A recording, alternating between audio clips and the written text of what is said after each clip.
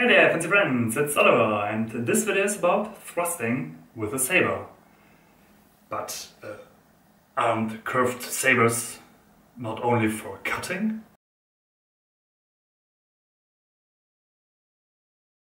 Surprise! Christmann's cut and thrust fencing contains thrusts. And they are German over-engineered as well. For a quick overview, let's have a look at this one.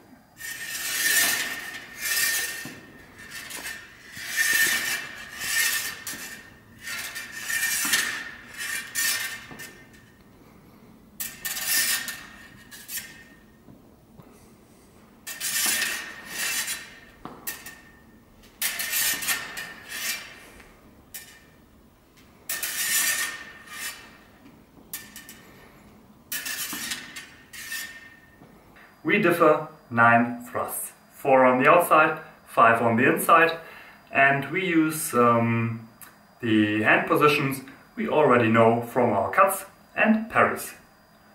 Mostly. Um, yeah, but I talked um, about how to present you these nine thrusts because one really could make a few dozens of videos about them. Um, but I think for the most of you, the presentation and some general advices uh, will fit your needs. For all of you uh, reading the book and uh, want to dive deeper into, um, feel free to ask me if you have specific questions. Um, I will answer them for sure. And don't hesitate and be the one who asks because um, for sure there are several people with the same question and they don't ask because of different reasons. Before I will show you the thrusts in more detail, um, please note the following points. First, thrusts on the high inside, hit the chest. Thrusts on the high outside, hit the armpit, and all thrusts underneath the blade um, hits the belly. And second, all thrusts should be given with a binding or a possible binding with the edge or the back edge of the blade. And third, because of the curved of the saber, um, we use hand positions to bring in the thrust in a good angle. Um, one will have to change them a bit if the blade is more or less curved or even straight. And uh, finally, the thrusts are optimized against a guard in high second or prime, and if your opponent fences in another style, we have to anticipate also. And now, to the thrusts. We start with the easiest one, the Sekonstoß outwards. From our guard position, just straighten out the arm and thrust under the armpit. You will have and need strong bind. The Quartstoß outwards also aims at the armpit, but this time you position your saber in a bind that the thrust could go around the opponent's blade. The Halbzirkelstoß outwards is a bit different. Christmann uses a position called Halbzirkel Quad, uh, which means that the arm would be in quad position on the inside, but your hand is in Halbzirkelmotion. This position is also used in Abfang, and I also made a video on that. Have a look. The thrust is similar to the Quartstoß because it binds with the back of the blade and thrusts assisted by it curves. Now to the inside. The Primstoß high is done in the same hand position we use in the parry to get a bind with the edge.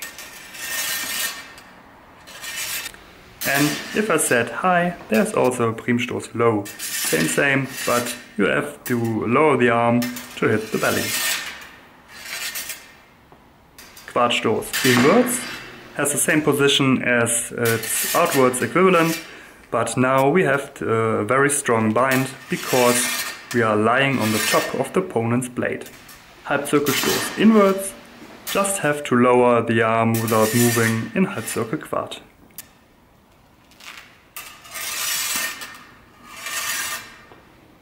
Finally, the, the Kornstoß inwards is also a low thrust with lowered arm to hit the belly. I know, again, And again, it works. So, but now to the parries. If you want to parry them, we use um, the already known parries in second and prime. Only for the thrusts in um, the lower openings, we have to lower our arm as needed. Um, by the way, this is something special about Christmann. Uh, mostly all of the combinations ends with a parry and not with a touch. Some of you might say this will create problems and artifacts and I don't want to say it's not true, but the bonus is you could fence all the combinations with a minimum of gear. And it's historically accurate. Paragraph 42 is about the thrusts and parries. And as I told you before, every attack is given by lunge and every parry is supported by Zurücksetzen. Safety first. This will look like so.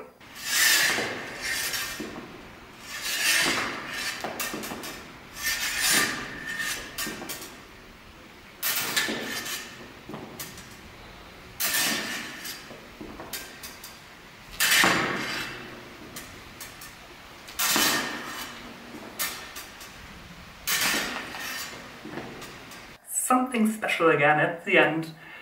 Uh, what if the opponent stands into something like a guard in quarte? You know, as only the best saberists do, as Colin Fieldhouse told us frequently in his math classes. Christmann told us also about the Terzstoß, which aims um, from the outside to the inside on the chest and is well known.